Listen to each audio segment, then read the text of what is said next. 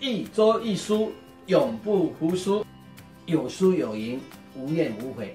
请给我七分钟，看我为你精读一本书啊，并找出三个学习重点，外加可能影响一生的一句话。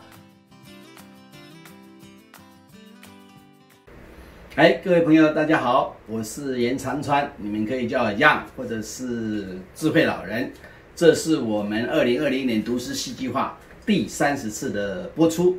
我们这一周所选的书目叫做《一小时做完一天工作》啊，副标是亚马逊怎么办到的？哇，所以这个书名非常的吸引人啊！如果一小时就能做完一天的工作，那真是大家梦寐以求的事情。这是佐藤将之在二零一六年离开亚马逊之后，将他在亚马逊工作的十五年经验所写成的一本诗啊。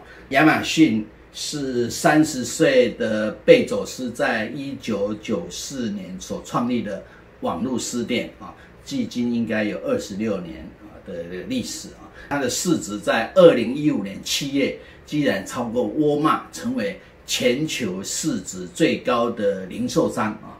它的股价更在二零二零年七月一日飙到每股两千八百七十八点七美元的历史新高，所以。贝佐斯创办人，他的身价随之激涨到一千七百六十八亿美元，变成全球首富。贝佐斯在收购自驾车新创公司 ZOOX，他的旗下也有太空公司叫 Blue Origin。哎，这一个 model 似乎跟 Tesla 的马斯克很像，所以被马斯克讥为跟屁虫啊，因为马斯克。Tesla 是自驾车的第一名啊，然后他又有 Space X 太空公司，哎，几乎想法英雄所见略同啊。Amazon 处处有 Toyota 的影子啊，两家公司的共同点是以顾客满意跟速度为优先，然后用数字来管理并持续改善啊。简单的道理，持续做就有机会成为世界级的企业啊。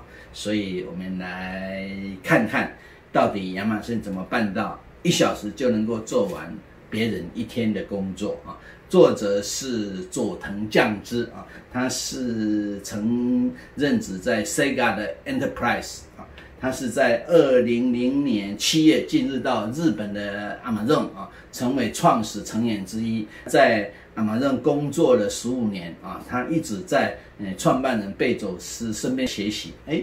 他发现这一家企业之所以能够维持高速的成长，除了创办人的能力跟魅力以外，还拥有独特的待人的方式，也就是管理方法跟沟通技巧啊。所以，呃，从他身上，我觉得有三个重点值得我们来学习。第一个，时间有限啊。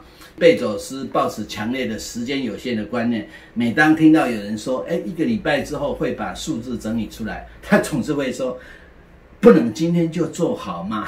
所以阿马仲全体员工加快速度，难怪阿马仲的速度比想象的快七倍啊！别人一个礼拜做贝佐斯就要求一天啊。第二个是顾客中心的文化啊，顾客是阿马仲最重视的词汇啊。也就可以说是主路牌或者是北极星，而顾客满意度是判断所有事物的价值标准啊。他们里面自己有一个十四条领导原则的第一条就是以顾客为链啊，所以亚马逊既有顾客为中心的文化啊。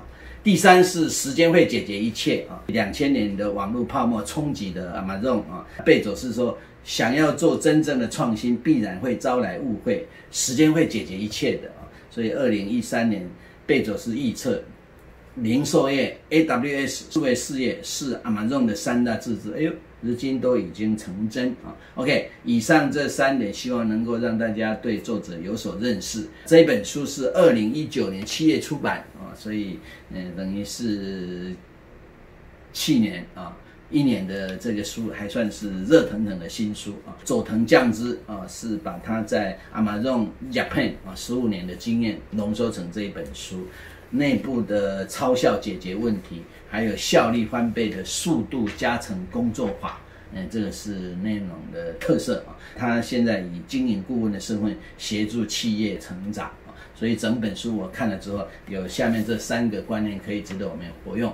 第一个，瞬间传输啊，在电商世界，顾客一旦下单，最好东西能够马上变现，这是人的欲望啊。到货时间从一开始的一周到一天、一小时、三十分，甚至十分钟。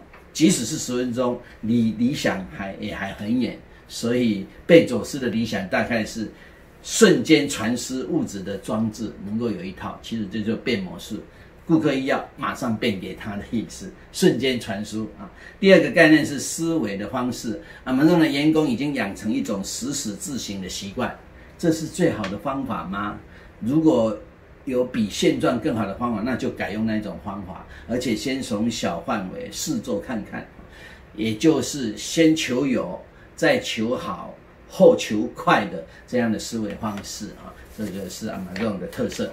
第三个是行动方法，阿玛诺的所有部门都在高速执行 PDCA，这个 P plan 是确实很重要，但是不要花太多的时间去规划，不要不要。用上数个月啊，要进行 C 跟 A 之前，最重要当然要先做 D 啊。所以 Amazon 的所有成员，别人都在以业为中心的 PDCA，他们是在以周为中心。OK，以上这三点大概就可以知道，原来亚马逊是这样做到的啊。有人形容 Amazon 是一一家驾着 F1 跑车，一面奔跑，一面修车，还换引擎般的公司啊。所以从顾客下单。到送达手上，别人需要一天，那么这种只要一小时啊。当然，到底怎么办到的？所以研究的结果，速度、时间、数字是 Amazon 的最重要的 DNA。把公司的前年大目标化为每个员工都说得出口的一小时小目标，然后很骄傲的拍胸膛说，一小时做完一天的工作。所以我想这就是为什么 Amazon 能够维持年成长率二十 percent。成为全球电商霸主的最重要的因素啊。OK，以上是我们本周的内容。如果要我浓缩一句话送给大家，那就是一小时做完一天工作。再见，拜拜。